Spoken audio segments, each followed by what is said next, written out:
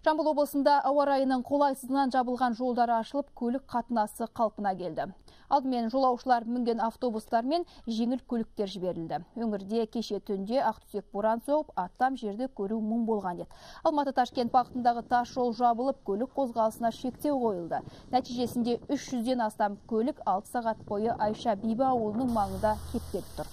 Жол полицейлері жүргізушілерді кезектен кезекпен әр 5 минут сайын жіберуде. Себебі жол әлі де көктайғақ мамандар ұзақ жолда сақ болу қажеттігін ескертеді.